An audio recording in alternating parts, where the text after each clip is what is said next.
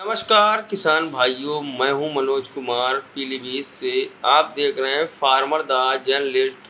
आज हम बात करने वाले हैं, आंवले की पौध किस प्रकार से तैयार कर सकते हैं, हमारे किसान भाई।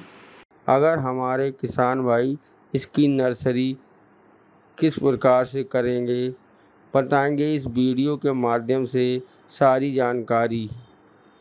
अगर हमारे किसान भाई आंवला की नर्सरी करना चाहते हैं तो इसके लिए हमारे किसान भाइयों को पहले पॉली बैग व मिट्टी व खाद, देसी खाद की ज़रूरत पड़ेगी, जिसे मिट्टी व खाद को अच्छी तरीके से मिला लेना चाहिए। उसके बाद पॉली बैग में अच्छे से उस मिट्टी को भर देना चाहिए। उसके बाद उसमें बीज, आंवले के बीज को लगा देना चाहिए। उसके बाद दो से तीन महीने में आंवले की पौध निकलना शुरू हो जाएगी। अगर हमारे किसान भाई आंवले की नर्सरी करें तो इससे अच्छा खासा मुनाफा कमा सकते हैं।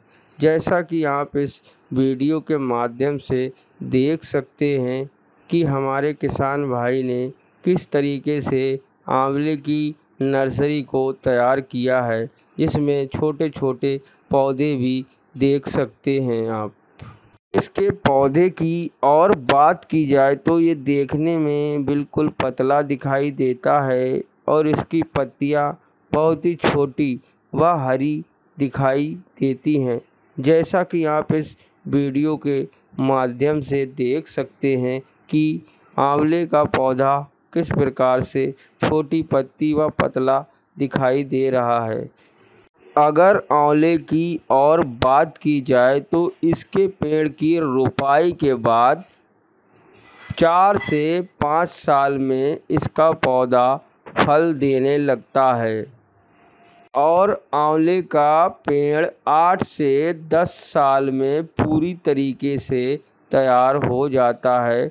जिसमें औसतन साल में एक कुंटल फल निकलता है, जिसकी मार्केट कीमत पंद्रह बीस रुपए किलो के हिसाब से होती है। अगर हमारे किसान भाई आंवले की बागवानी करते हैं तो साल में औसतन पंद्रह से बीस हज़ार रुपये एक पेड़ से कमा सकते हैं। अगर आंवले की फल के फ़ायदे की बात की जाए तो ये कई चीज़ों में उपयोग में लिया जाता लिया जाता है। जैसे कि मुरब्बा व इसकी कई प्रकार की चूर्णों में भी उपयोग में इसके फल को लिया जाता है। अगर आपको हमारी ये वीडियो अच्छी लगी हो तो आप हमारे चैनल कृषि जागरण को लाइक व सब्सक्राइब करें।